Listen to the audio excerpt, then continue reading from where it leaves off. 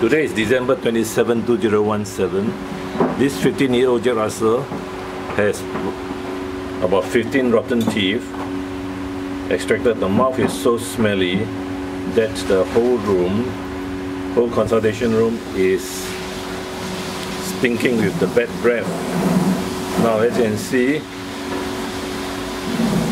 15 years old is, is in uh, not a good condition. It's thin the dog is thin and uh, cannot eat anymore because of the rotten teeth. So the, the owner decided to come in for surgery to do the dental dental surgery to get a teeth extractor. As you can see, old dogs is very high risk. We managed to uh, get the teeth done, but you can see the dog is so weak he can't get up. Now, there's not not uh, the the anesthetic. It, it, it has a lot of 14 teeth extracted. These are the good ones, and uh, it should be better now. As you can see, he really find it difficult to wake up after the gas anesthesia.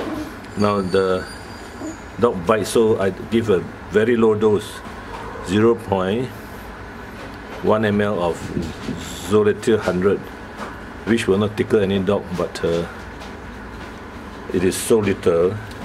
It's meant for small breed like Chihuahua. But here see this dog really cannot uh,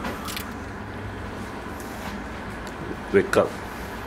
So I'm giving a drip now and antibiotics through the drip so that uh, the, the mouth, the bacteria in mouth can be eliminated by antibiotics IV. So this is about five five minutes after the end of anesthesia, and uh, I hope he can wake up soon. The best is not to let your dog have rotten smelly teeth until he can't eat or drink or bites you then you go for dental. As uh, old dogs seldom